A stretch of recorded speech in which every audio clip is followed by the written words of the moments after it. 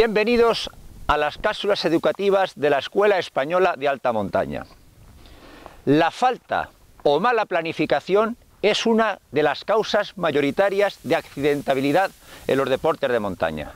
Por eso, desde el Comité de Seguridad queremos darte una serie de normas para que seguridad y diversión vayan de la mano. Nos referimos al Código de Seguridad para las salidas a la montaña, que está compuesto por cinco puntos. Primero, prepara tu itinerario. Segundo, equípate correctamente. Tercero, revisa la previsión meteorológica y las condiciones del terreno. Cuarto, conoce tus límites. Y cinco, di a alguien a dónde vas. En esta cuarta cápsula de la serie vamos a hablar de conoce tus límites.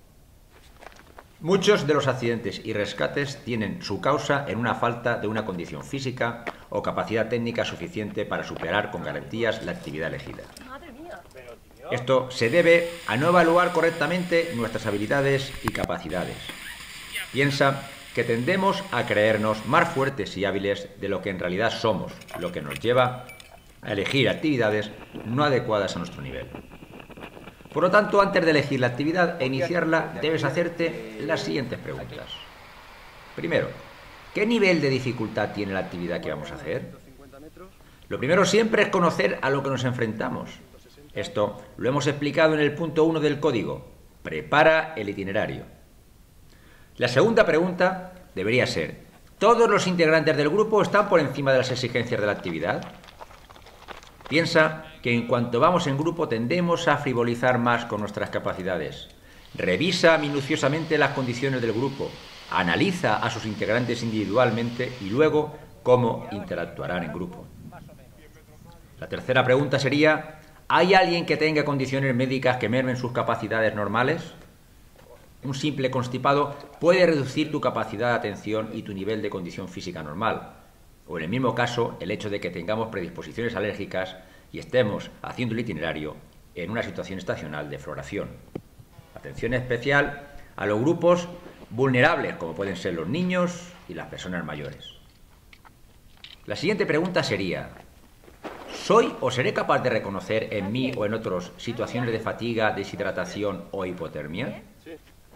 No darse cuenta a tiempo es un peligro difícil de solventar si ya se han iniciado sus procesos.